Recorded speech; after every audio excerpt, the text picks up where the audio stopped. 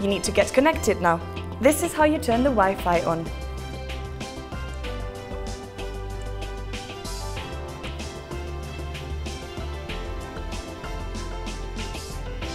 You are now connected. If you click on the Beyond logo, you will be able to load the application. As you see on the main menu, you can get to know all about the different components of the Summit. If you click on Sessions, you will be able to browse through all of them.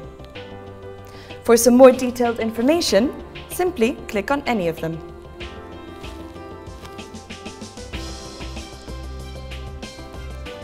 You can also find the list of speakers.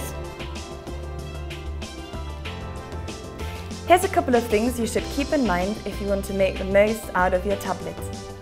First of all, remember that while using the tablet, the battery will only last about 2 to 3 hours, but fear not, we have plenty of power points all around the venue. Also, you cannot use the device while recharging, but you can use it if it is plugged into a laptop. And this is it. You're now ready to use it. If you have any further questions, please drop by the info desk next to the registration in the Crowne Plaza lobby. Enjoy!